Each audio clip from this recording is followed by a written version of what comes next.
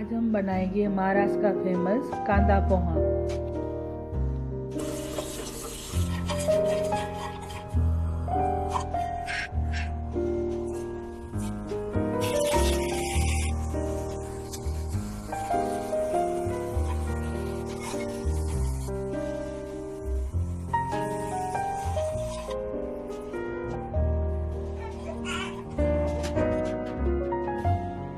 तो तैयार है महाराष्ट्रियन फ़ेमस कांदा पोहा।